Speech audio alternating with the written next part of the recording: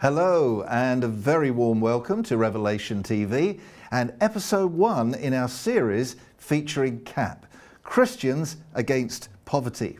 CAP have been helping thousands to become debt free and deal with other financial challenges for over 25 years. And today it's a joy to have in our studio the Reverend Lynn Weston, Director of Church Partnerships, and Peter Snell, Money Coaching Lead, who will be sharing with us the benefits of budgeting.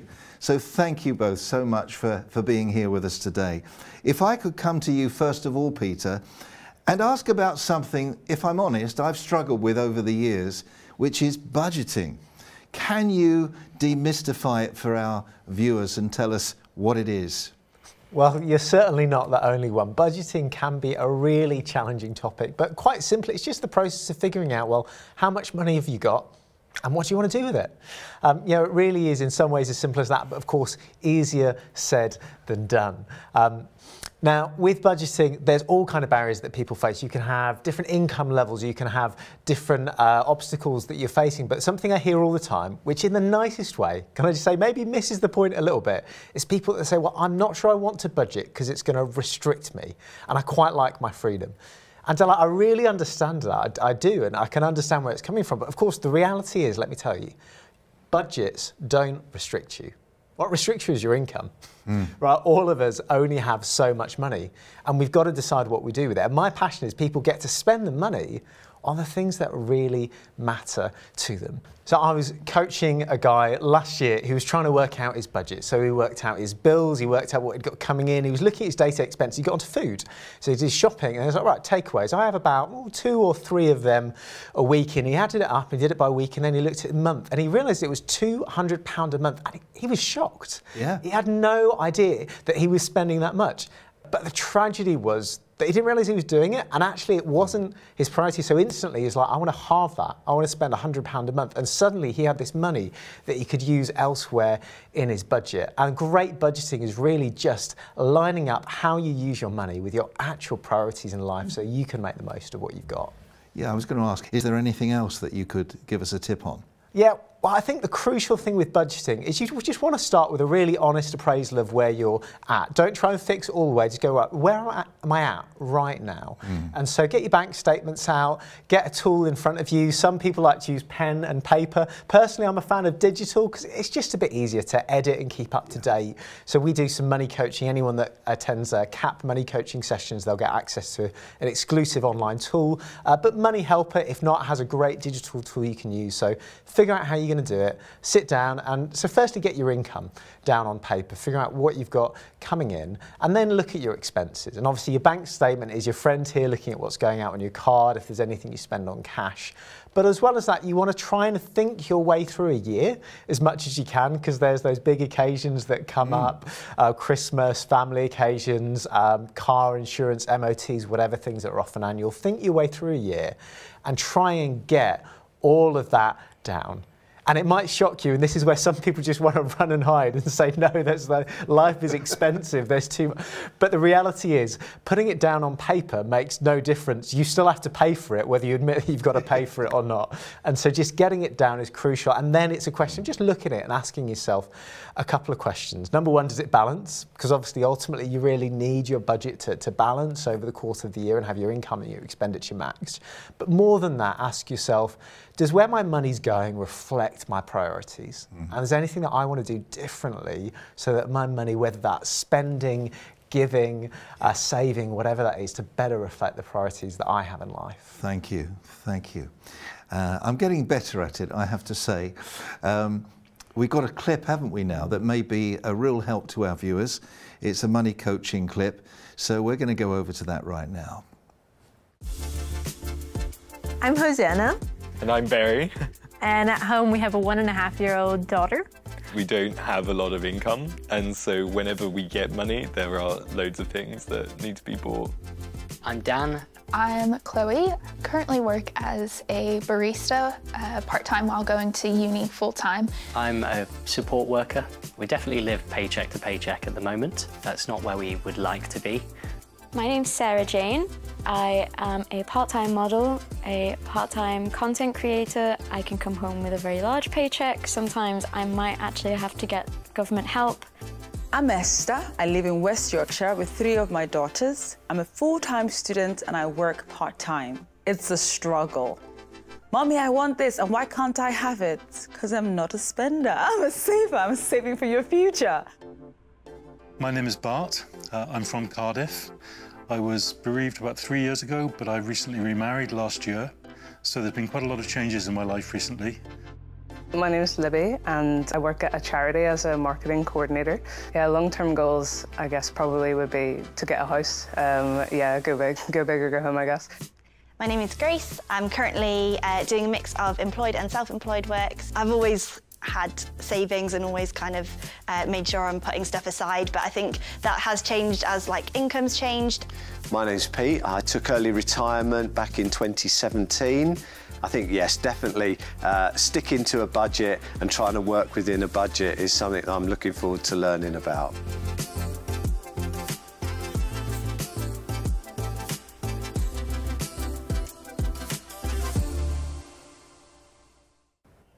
Welcome back. Uh, so, really, there were some great examples there, wasn't there?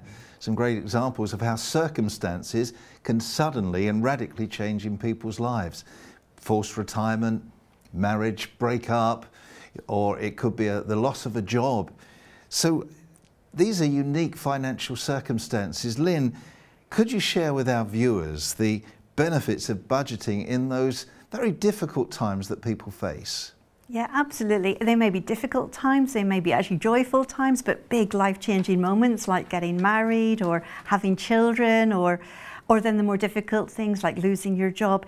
I think that's where it's really, really important to know what your income is and what your outgoings are and keep that on track nearly as a like a monthly process, what's coming in, what might be changing. And the whole um, benefits to feeling on top of your finances, knowing what's going on. Um, I think it's especially important when there's a few of you, you know, if, if, if it's a, a, husband and wife, knowing what each other's spending. Uh, let me tell you about my husband Phil and I, how, how we do it.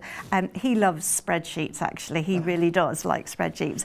And he enjoys um, looking at that. Now, a couple of years ago, we had a major, major life change where he, after many years of employment, decided that he wanted to spend the next 10 years of his life giving back into community and doing volunteer work, which was a massive impact on us, but we got out the spreadsheet, we looked at what our income was, what the significant change to our income was, and then we looked at what are the things that are really, really important to us and what actually are just things we did because we could. Um, one example is, you know, when you see in a spreadsheet how much, you know, hairdressers costs. Um, this is why my hair is long. It was short when we looked at the spreadsheet, now I just let it grow. But you look at all the different outgoings you've got, and it can be a bit of a surprise. And I think the other big benefit is there's a real sense of well-being you get in actually knowing you're in control. You mm. know what you can afford and you know what you can't afford. You know what's a luxury, you know what's for a special time because it's always good to have time to socialise and go out and be with friends, be with family. But you also know when you need to pull back on that and coming up to Christmas, coming up to special occasions, you know, you actually need to save for that. So knowing what your savings pot is going to be, I think it just generally all around makes you feel much better.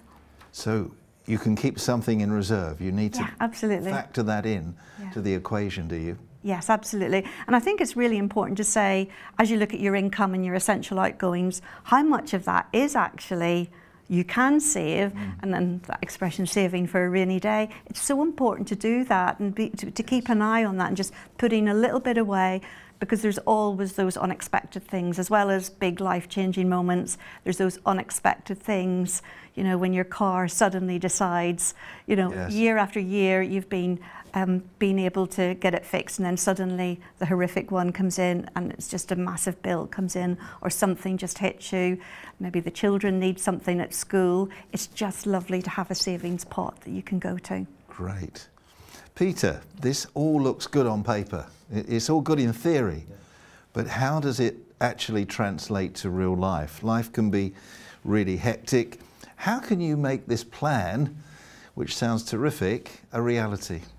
Yeah, well, Oh, you've nailed it on the, on the, head, I think, because the only budget that really matters is the one you actually live out in real life. It doesn't matter how good the plan is on paper, it is what you do in, in real life that, that counts. And that is where many people kind of fall down. They make a great plan, and then, yeah, mm. life happens, and oh man, it, it is tough. Here's a few things that I found really helpful personally and also in, in, in sharing this stuff, in staying on track. Um, one of the big ones is actually having your spending money in a separate pot to, to your bills and your saving. Most people, their, their bills and their spending money come out of the same account. And, and that can work to a point, but it often makes it really hard to figure out how much money you've got left. Can you get to the end of the month? Are you doing okay? And so whether you use a, a prepaid credit card or another current account or something like that, that just helps you split your bills and your spending money out. And, and, see what happens when you do that is suddenly you can set yourself a target or even a limit for that spending on the week or the month. Um, and it means that if you run out of that, then you've got to borrow the money from another goal. And it just makes the trade offs really clear. And so, again, it's just that priorities thing. It helps people use their money in a way that lines up with their priorities. So having that that that separation between your spending and your bills is, is, is crucial. Um, and the next one I'd really talk about is motivation. Um, so ultimately, you're only going to stick to a budget if you care about the end result. Um, you know, and that, that could be as simple as just keeping up with your essential bills. For some people, that, that might be where their budget is at, and that, that could be a really good goal.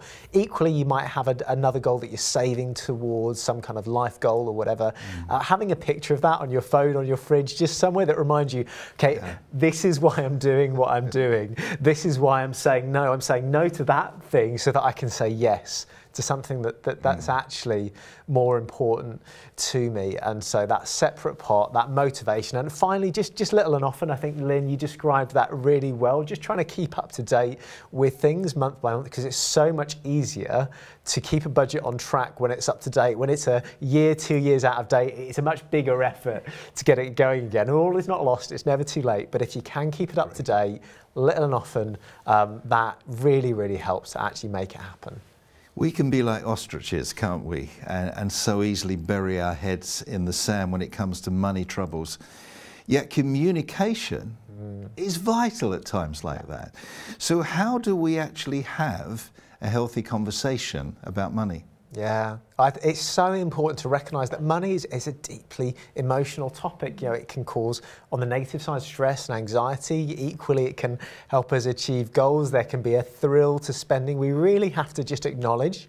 That, that space that, that emotions play in how we manage our, our money. Uh, but as you said, particularly when it's tough, that, that ostriching is very real. At, at CAP, we find often people waiting two years or more if they're in severe debt help, uh, debt situations, for instance, to access help. Um, and so I think firstly, just, just being honest with yourself, and a budget is great for that because even if it's scary, it lays out really clearly that financial position and just allows you to kind of be honest with yourself. Mm.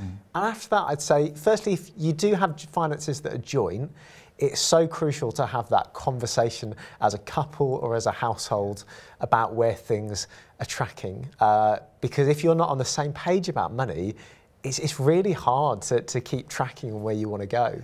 And also, if one of you is making the decisions, the other one isn't involved, it's really healthy to try and make those decisions together.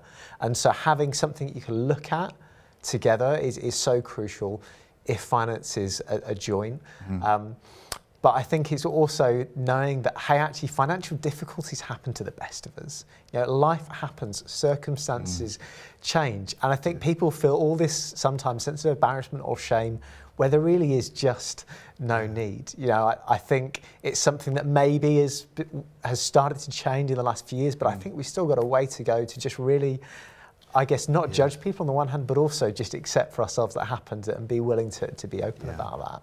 I'm glad you talked about couples working together because can two walk together unless they're in agreement, Absolutely. as the Bible says, but it causes so many marital and relational difficulties, doesn't it, if you're, you're not actually on the same page and working together. Mm -hmm. Lynn, as a pastor, I've had ministerial colleagues who've found themselves in tremendous debt. And because of their position, because of their status, they're too ashamed actually to admit it. And it's affected their mental health, it's affected their ministry in quite a, a severe way at times. How do you encourage people, Lynn, to swallow their pride Because often it is pride, isn't it? Mm. And actually open up about it. I think it's such an important, it's a really important matter at the moment because there are many ministers and pastors all over this country. We're in the cost of living crisis mm. and they're in the midst of it too. And nobody goes into ministry for high salaries and high income. So we're already living on, on quite a tight um, quite a tight budget in their in their lives anyway. Then the cost of living crisis comes in and fuel bills go up and life goes up and food goes up, everything goes up, and they're in a really difficult situation. Mm.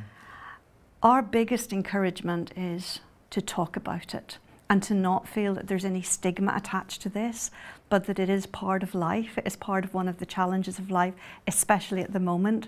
This whole, the whole nations of the UK are all really, really being pulled down by the darkness of poverty and challenge. And as pastors, I, I think it's really important that we're able to show our own vulnerability in that. Life yes. is happening to us too. We're not set aside from that, we're, we're in it. Um, mm. I would very much in, encourage pastors and ministers to be preaching on a regular basis about the reality of what's happening in their communities, yes. but to be able to actually acknowledge you're part of that. Mm. And that's happening to you too. Um, I don't think there needs to be any concern about doing that that, that, that's, I suppose, the, the public face, and I think that encourages other people then to talk your mm. role modelling to your congregations. That's right. It's actually really helpful to talk, to be able to talk about it and point it, point people to organisations that can really, really help. But I think then privately, that's where it becomes really important yes. because you are in such a public position all the time to either talk to your partner, to talk to a good friend, because I know many, many pastors are single and they're dealing with a lot of stuff as well as the challenges of money. They're dealing with many, many challenges in their work as they pastor others. So to find a confidant that they can talk to, not just about the challenges, but about the practical route forward and actually the prayerful support they need as they, they go in that practical way forward.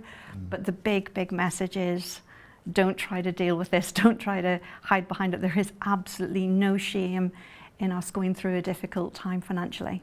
And, and also, it's a good thing for leaders of churches to sit down during their leadership meetings and actually be real and mm. be frank about the issues perhaps that they're facing so they can pray together, but also reach out to organisations like CAP and get the help that uh, they really do, do need and encouragement and advice. So um, people will need to go to your website, won't they? They, they will indeed. We'd encourage them to come to the website and get in touch with us. I, I had a, a pastor speak to me last week um, in real difficulties. And you know, the reason they're in difficulties is because they've been doing such amazing things, helping others mm. and trying to support their family and just being able to have that, that one-to-one -one call that I was part of and to know that on one side, we can actually walk with them and actually take them from this situation into a real practical way forward, but to be able to pray with them mm. as well. it just really showed a, a, real sense of, of, hope forward, but it is happening every day. Don't think you're on your own what if you're privilege. going through it. Yeah. What a privilege. And, yeah. you know, I'm just reminded of a friend that we had who was in a, a, a profession um, who really through no fault of her own, got herself into severe debt. And as you say, it took about two years mm. for her to open up. She'd become suicidal. And she had to get to that point before she would actually come to us and tell us what had happened. And then we pointed her towards CAP. And we had a CAP centre in, in our local vicinity at that time. And it absolutely revolutionised her life. How do you bring hope to people and how can CAP actually help somebody like that? How do they do it? Del, heartbreakingly, one in two, I can't even believe I'm saying these statistics, one in two, 50% of the people who approach CAP are feeling that the only way out of debt and poverty mm. is to end their life. And that, that is what keeps me up at night, and that's what gets me up in the morning to do what we are doing. One in two, shocking statistics. But this really, we really encourage people to come on this journey with us. You don't have to do this alone. They can walk beside us. We can actually take them through the financial process of helping them get out of debt with experts that can really help talk them through every stage. I can't even tell you the weight that that lifts off people when they think, oh my goodness, there's lots of people going through this. Somebody actually knows exactly what I need to do now and what to do next. And, and while somebody's doing that, there's actually somebody in their home with them, actually taking them through the process. So the hope we give is the hope in Jesus. Yes. Because when we talk to somebody about debt, we normally find that there's a whole pile of other things going on as well. Um, debt is normally one thing in amongst a pile of other things. Mm. But even if it's just debt, there's normally something about life and life needing to be transformed in it. And we've got our hope in Jesus, haven't we? We have. And that is what makes our services so unbelievably unique because we have got all these people in churches all over the UK who are actually out talking to people, sharing their faith and their passion for Jesus. And they're doing it because of their passion for Jesus and they want to help anybody and everybody, faith or no faith, mm. but they just love doing that. A bit like Luke 10, going out in twos to speak to people and share that faith with them and help them, pray for them when that's the right time and the right moment to do that, and just walk with them on that journey. And who is this for? I think you touched on that. This is not just for Christians, is it? This is for um, people of any faith. Who do you actually reach out to? We reach out to anybody who needs help, who anybody who comes to us, we reach out to them, and we love doing that. We reach out to people of faith, we all faiths, no faiths, people who are lost, people who are just going through a bit of a difficult time. We are here for anybody who needs our help, and we love we love serving in that way. That's, that's absolutely brilliant. It really is. And I've heard that you're reaching out to Muslims, you're reaching out to, to Hindus. They're, they're all clients. Absolutely. And uh, I know that occasionally we have an atheist that watches this program. So, can I say, if you're watching today and you're in financial dire straits, do reach out to CAP because they are doing a splendid job and you don't judge people. That's the wonderful thing, just like Jesus. Um, you love everyone we, we, don't judge because we haven't been judged. Yes. And and we've been, you know, we, we, Jesus has walked beside us no matter what we've done. So we certainly don't judge anybody. Yes. And, and I would also say that a number of um, people who work for CAP or and a lot of our befrienders are actually people who have benefited from our services. So a lot of people that are talking to people in their homes have been there a year, two years before and they're talking from their own personal experience. Mm. So there is definitely no judgment. Yeah. That's wonderful. And I think it's worth saying as well, as well as religion and uh, faith and belief, um, also income level is something actually, yeah, poverty can and mm. debt mm. can affect people on all kinds of income levels. Mm. And particularly with our money coaching work, that really is, you don't have to be on the lowest of low incomes to benefit from that. And particularly if we've got any pastors that are mm. watching or church leaders, you can do that in your church, you can do it, and then you can recommend it to your congregation and your wider community to serve them through that as well. I just have a sense um, that there are people watching today who are desperate. And this is flickering, bringing a hope in their hearts that there is some, somebody out there that can actually make a difference. I wonder in the last few minutes if you'd be prepared to just look at camera and pray for those people who are desperate, perhaps feeling suicidal, um, and, and just feeling that there is no hope whatsoever and suffering relationship breakdowns as a result and so on. Could you just uh, pray for them? Thank you, Lynn. Yeah, certainly, Dale. Lord Jesus, I just really ask for your presence, your intimate presence on the lives of each and every person who is watching this program today that, they, that you just touch their lives, you just touch their hearts. And if they're feeling isolated, alone, frightened, scared, that you just surround them like a beautiful blanket around them and show them that you love them, you care for them, and you actually get them to press the phone and call us, to go on the website, to contact us, to know you don't need to be alone. There are churches all around you who want to love you and care for you and help you out of this situation. Lord, I just pray that in the darkness you shine your beautiful, luminous light onto lives and you give people a deep sense of hope in your name and for your glory. Amen. And we sincerely hope that there are church leaders and pastors, priests, vicars that are watching who can really just guide people to, to get in touch with you, to get in touch with CAP and get their help and the support and the advice that they need. Um, if they go onto that website, will it show them where their local um, centre is for CAP? Will it actually give them, would it point them to the, in the right direction? Yes, and we, you can go onto the website and then you can contact us and we can put people in touch with where's the best centre for them to actually get that help. Oh, that's absolutely brilliant, yeah. In the last minute or so, can we just, could, have you got an example of somebody who's been helped recently, whose life has been turned around?